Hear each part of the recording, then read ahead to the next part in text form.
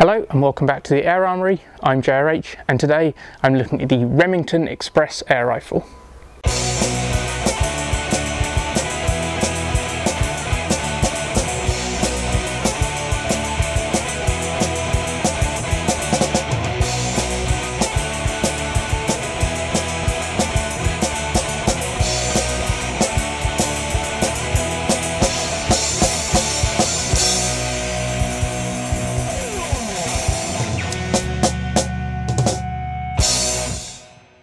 Most people will be aware of, or at least have heard of Remington, or the Remington Arms Company as they're officially known.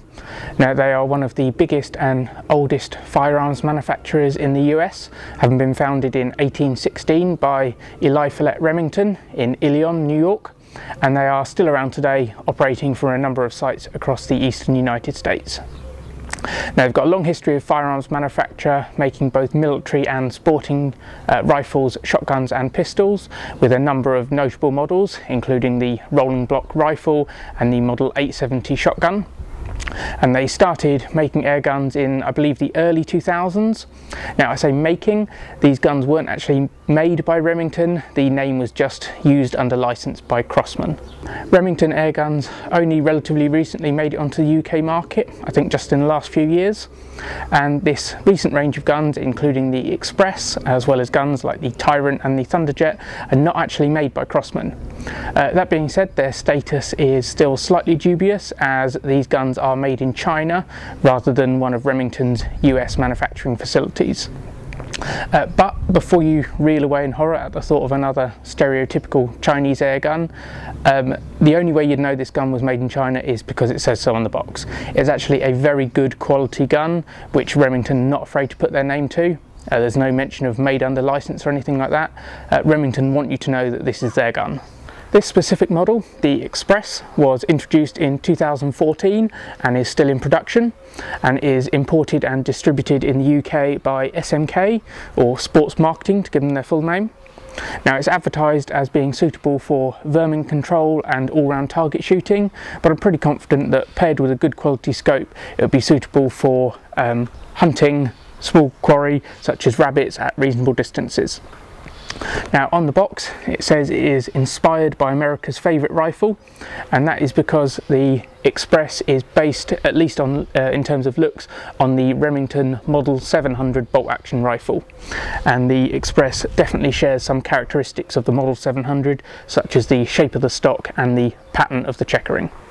The Express was originally only available in one configuration, so you didn't get any options with regard to barrel length, uh, stock or caliber, but it is now available in a fair few configurations, so I'll point those out as we go through the video. And the Express, as with most of Remington's air guns on the market at the moment, actually comes as a combo package, so as well as the rifle you also get a scope and mounts. Now this video is going to be primarily a review on the rifle but I will also include a brief review of the scope as well. So let's take a closer look at the Remington Express air rifle.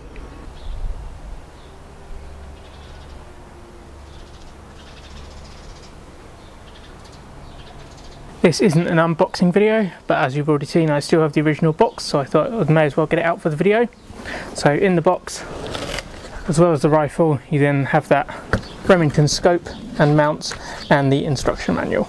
The Remington Express is a break barrel spring piston rifle and with the barrel open you can see it actually uses a spring tensioned ball bearing to lock the barrel in place rather than the conventional spring loaded plunger and a nice little attention to detail I don't know how well you can see there but the breech is actually uh, countersunk slightly to assist with loading and seating the pellet to prevent the skirt getting damaged or deformed when the barrel closes.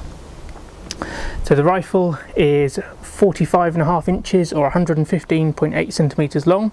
So it's quite a long gun and it weighs 8.3 pounds or 3.76 kilograms scoped or 7 and 3 quarter pounds or 3.38 kilograms unscoped. So as well as being a long gun it's also quite a heavy gun it has an 18.7 inch or 47 and a half centimeter long rifle barrel Uh, originally this was the only barrel length available, but you can now get the Express Compact, which is essentially the same gun but a carbine version.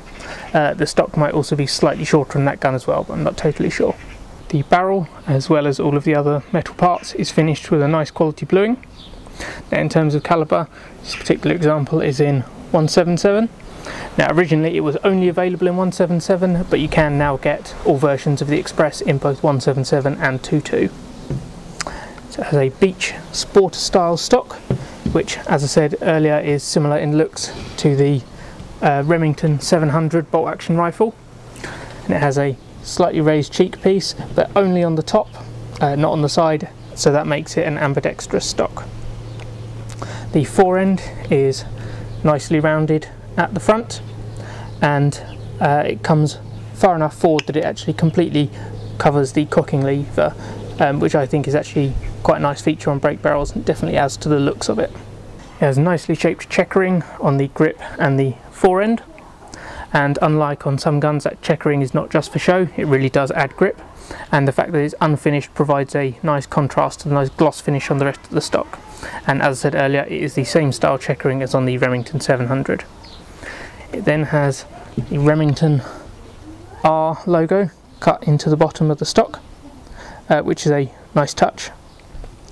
Overall I'd say that it is a very nice stock both in terms of features and finish. Uh, since the, the Express was originally released in 2014, Remington do now also offer a version with a synthetic stock instead of the traditional wood stock.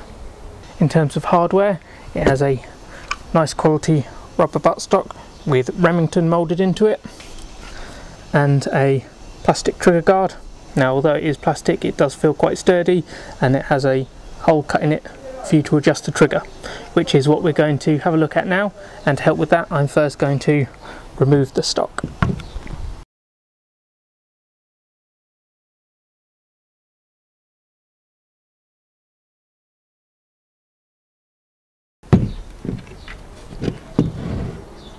Can see the Express has a cast metal trigger unit which houses a metal trigger blade which has some nice grooves or serrations cut into the front of it to add grip.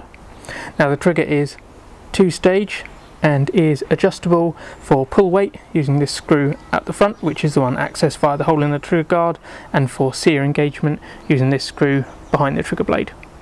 The trigger is quite nice uh, it breaks crisply without too much creep and whilst it does have the facility to make adjustments it's actually pretty good straight out of the box.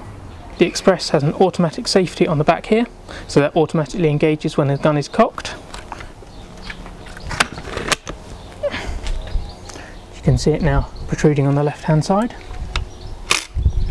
So to disengage it you push it all the way over from the left to the right as indicated by the S and F for safe and fire on the back of the gun. So when the gun is uh, ready to fire, the red shows on the right hand side. Now a nice feature of this safety is that it is resettable using this lever on the left hand side. So if I bring that back, it then re-engages that safety and that is also uh, acts as a cocking indicator as you can only pull that lever back when the gun is cocked. I've just fired the gun off camera and you can see that because it's no longer cocked you can no longer use that lever. Now it is a good safety but it has a couple of slight drawbacks. Now depending on uh, if you've got a scope mounted and whereabouts it is mounted on the rail the scope can actually block and prevent you from being able to lift that lever up to reset the safety and although it looks like it's going to be quite well placed for your thumb to push off when you're holding the gun because the gun is uh, quite big in the hand you can actually sometimes have to move your hand a bit to actually get on that safety to disengage it. In terms of sights, the rear sight is a large plastic sight unit. It is removable but it's never got in the way of any of the scopes of hand mounted so there's no real need to. So it's a fibre optic sight with these two green fibre optic bars and it is adjustable for both windage and elevation using the click wheels on the top and the side. The front sight is a red fibre optic bar mounted on top of a ramp. Uh, the whole front sight is a large moulded plastic piece fitted over the end of the barrel and the ramp is actually nicely uh, serrated so that, or grooved to avoid glare. But I do find that those grooves do sometimes tend to hurt my fingers a bit if I'm um, cocking the gun repeatedly and holding my hand uh, out that far to get as much leverage on the barrel as I can. I believe the front sight is just press fit onto the end of the barrel, so I think you could probably remove it, uh, certainly by uh, removing or loosening that grub screw. Uh, although I'm not sure how great the gun would look without it, I haven't tried it.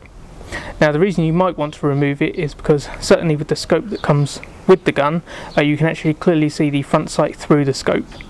Although the slight benefit of that is that um, it's a non uh, parallax adjustable scope that comes with the gun, so you can at least use it to line up the crosshairs. Now overall the sights are okay but not great. Uh, the fibre optics pick up light really well and the sight picture is acceptable. Uh, they're definitely usable but they look and feel a bit cheap and plasticky and aren't up to the same quality as the rest of the gun. Uh, that being said I'd much rather have them um, than none at all as on the XP versions. If you want to mount a scope it has a standard 11mm dovetail rail. And as I've already said numerous times the Express does come as a package with a scope and mounts. And the scope you get with it is this one. So it's Remington or at least Remington branded scope. Uh, it's 4x32 so the magnification is set at 4 times and it has a 32mm objective lens which is this larger one at the front. Um, and as you can see hopefully has just a relatively standard reticle. Now obviously the focus is adjustable uh, but it doesn't have an adjustable objective lens in order to correct parallax error.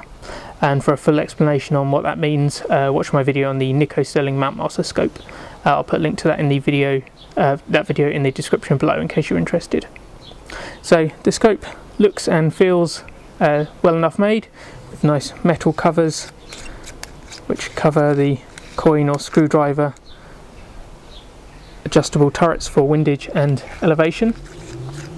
Now having an optic included with the gun means that you can scope up straight out of the box which is fantastic if you just want a complete inexpensive setup but whilst the scope uh, isn't bad it is a bit of a basic scope and it's the kind you'd expect to find in a combo package. Uh, so although the scope might be in the same price range as the gun, it's not of the same quality.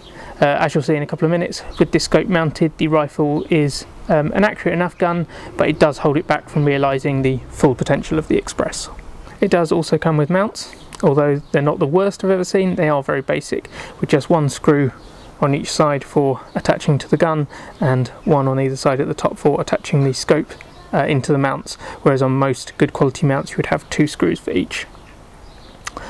Uh, lastly, it does come with lens covers. Uh, they're nothing fancy, but they do the job just fine. Looking now at the markings on the gun, you've already seen the R on the bottom, Remington in the butt pad, and the S and F on the safety. Now on the right hand side of the gun, we've got Remington Express on the side of the main cylinder, and then Remington on the uh, back of the barrel block. And then turning over on the left hand side we have Express 177 caliber 4.5 millimeter pellet air rifle then the serial number Remington Arms Company. And then moving further down the gun we have Express 177 caliber 4.5 millimeter pellet air rifle Remington Arms Company and then a big Warning logo. Before using, read owner's manual available free from remington.com. Misuse or careless use may cause serious injury, particularly to the eyes or death. Now, I'm not a massive fan of those kind of uh, markings, safety markings on the guns. For me personally, I do detract from the gun very slightly, but I guess I can just about understand in this day and age why they have them. Uh, all of the markings are just very lightly in the metalwork um, kind of within the bluing, they're not actually stamped into the metal itself. I'm now going to test the accuracy of the rifle. Now normally I just do a test with open sights, but seeing as the rifle comes in a combo, I'll test the accuracy as well with the supplied scope, and I'll also test it with a better quality scope uh, just to see what the rifle is capable of. And for all three tests, I'm going to be shooting these uh, 10.65 grain H&N Sport Baracuda match pellets at a distance of around 12 meters and I'm going to start with open sights.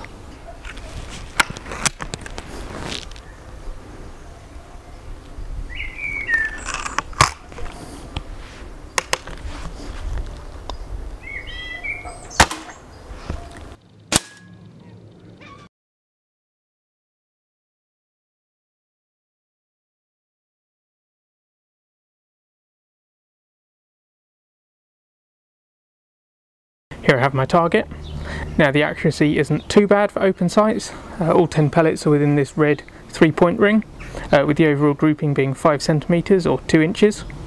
Um, whilst 7 of the pellets are either in or touching the inner 5 point ring, uh, the pellets are still spread within the group.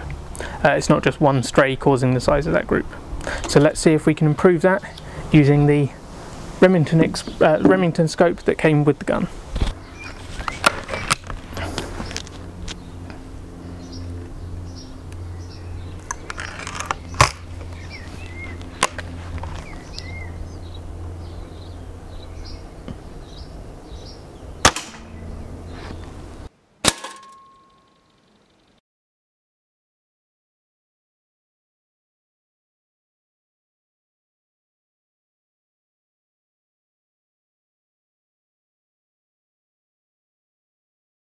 Here I have that target. Now first of all it's clear I need to re-zero it. Uh, I thought it was relatively okay uh, before I took it off last time um, but what I'm really looking for here is the size of the grouping. So the overall grouping has shrunk to 3.5 centimeters or about 1.4 inches but if you remove this one outlier at the bottom uh, the other nine pellets are in a tighter 3 centimeter or 1.2 inch group. So the accuracy is definitely better than with the open sights, but a better scope will improve that still. So I'm now going to mount this Nikko Stirling 3 to 9 by 40 Mountmaster scope, um, and that is parallax adjustable, which should help as well.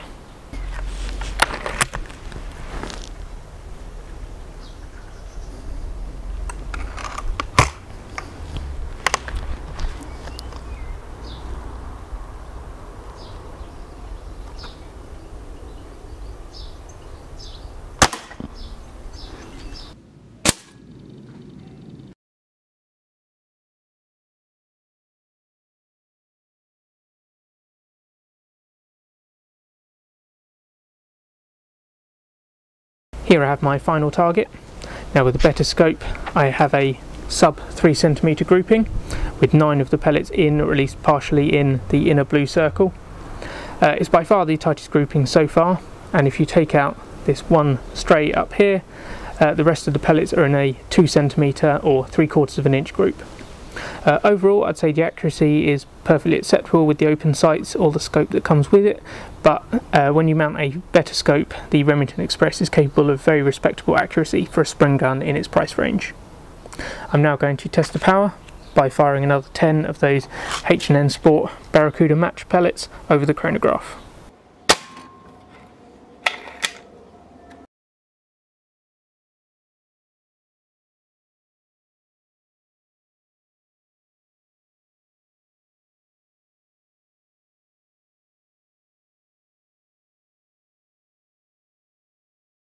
Have my chronograph test sheet and I've already done all of my calculations.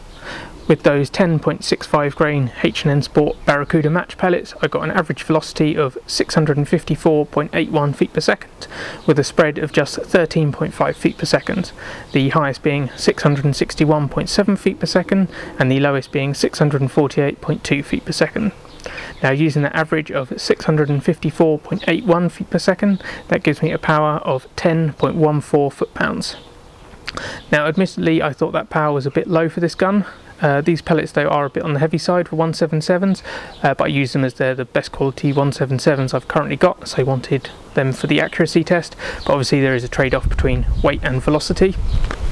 Uh, at the same time of filming this video though, I've also filmed some shooting for another video with this rifle using much lighter pellets, and with those I got a power of 11.56 foot-pounds, so that's just under the legal limit for England and Wales, so I've got no concerns that this one is underpowered despite, uh, despite the test results for this video.